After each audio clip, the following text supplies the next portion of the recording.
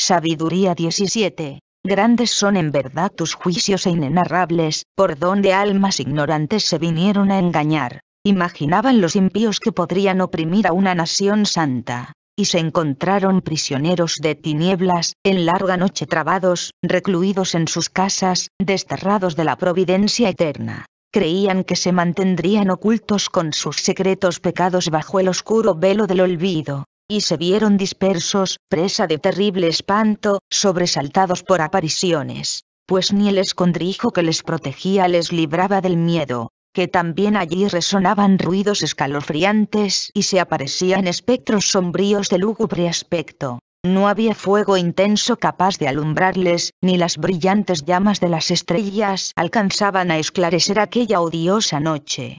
Tan solo una llamarada, por sí misma encendida, se dejaba entrever sembrando el terror, pues en su espanto, al desaparecer la visión, imaginaban más horrible aún lo que acababan de ver. Los artificios de la magia resultaron ineficaces. Con gran afrenta quedó refutado su pretendido saber pues los que prometían expulsar miedos y sobresaltos de las almas enloquecidas, enloquecían ellos mismos con ridículos temores. Incluso cuando otro espanto no les atemorizara, sobresaltados por el paso de los bichos y el silbido de los reptiles, se morían de miedo, y rehusaban mirar aquel aire que de ninguna manera podían evitar. Cobardes, en efecto, la maldad y ella a sí misma se condena. Acosada por la conciencia imagina siempre lo peor pues no es otra cosa el miedo sino el abandono del apoyo que presta la reflexión, y cuanto menos se cuenta con los recursos interiores, tanto mayor parece la desconocida causa que produce el tormento.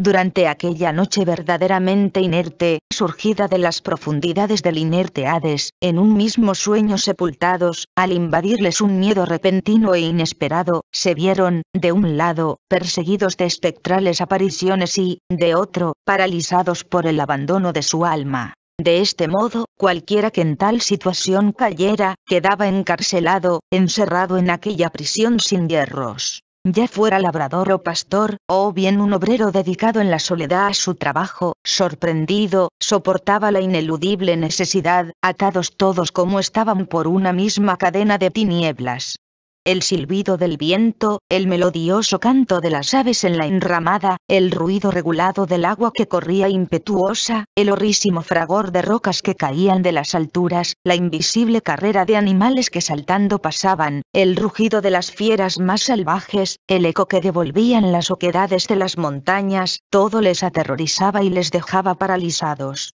Estaba entonces el mundo entero iluminado de luz esplendorosa, y, sin traba alguna, se ocupaba en sus quehaceres. Solo sobre ellos se extendía pesada noche, imagen de las tinieblas que les esperaban recibir. Aunque ellos asimismos se eran más pesados que las tinieblas,